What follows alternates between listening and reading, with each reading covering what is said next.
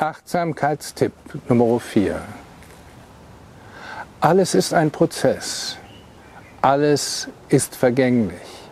Und weil alles sich ständig verändert, haben wir über nichts Kontrolle. Alles, was wir versuchen zu kontrollieren, entgleitet uns. Wenn wir versuchen, unseren Atem ständig zu regulieren, werden wir es nicht schaffen. Wenn wir versuchen, unseren Herzschlag zu beeinflussen, geht es vielleicht für eine gewisse Zeit. Aber im Prinzip müssen wir Vertrauen haben, dass sich alles in seiner Form, in seiner Geschwindigkeit entwickelt. Wir müssen offen sein.